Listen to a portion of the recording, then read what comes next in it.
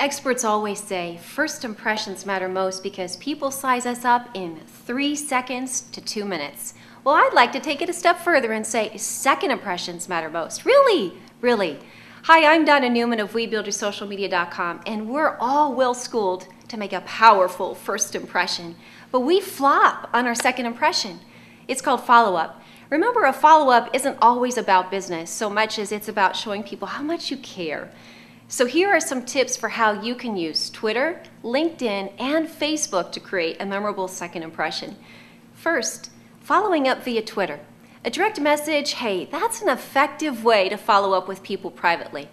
I usually use a direct message when I want to thank someone or someone I just met for a valuable advice or some insights they gave me, or maybe I'm going to offer them some additional ideas to the conversation we had.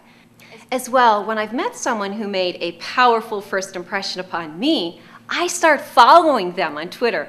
And when I see they've tweeted something of value to me, I click reply so I can comment on what they said.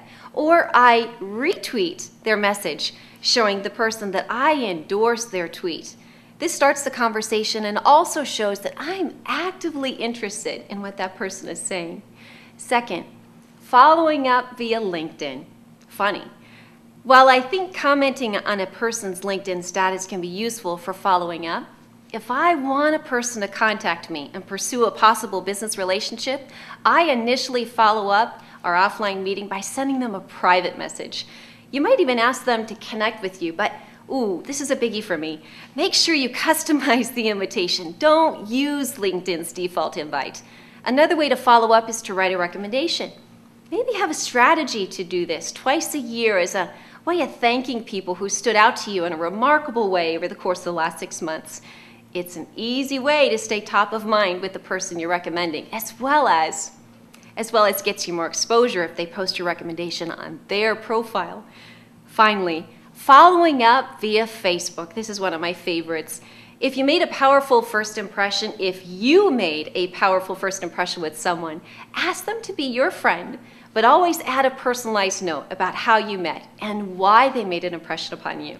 If for some reason you don't want them to be a Facebook friend, then send them a private Facebook message.